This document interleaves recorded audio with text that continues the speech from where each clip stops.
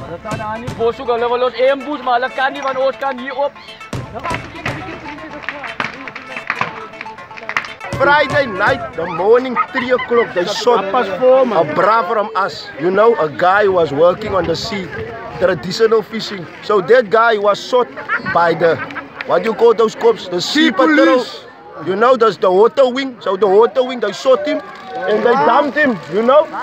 So basically, they left him there. They took the guys to waterfront, which supposedly being Hout Bay. Why did they shoot him? They shot him because he was on sea. For them, it is illegal to be at sea at night. But we was at sea, and we did go catch fish to put on the table. You know, that fish was supposed to feed the family. And what about the body? What did they do to the them? body? They dumped the body. The body is never found. Our children, they will always be hungry. They will always be angry because why? Uh, their fathers are fishermen and they got no job, they got no work, sitting at home without rights, you see. So the main story is the government must provide us with fishing rights, you see.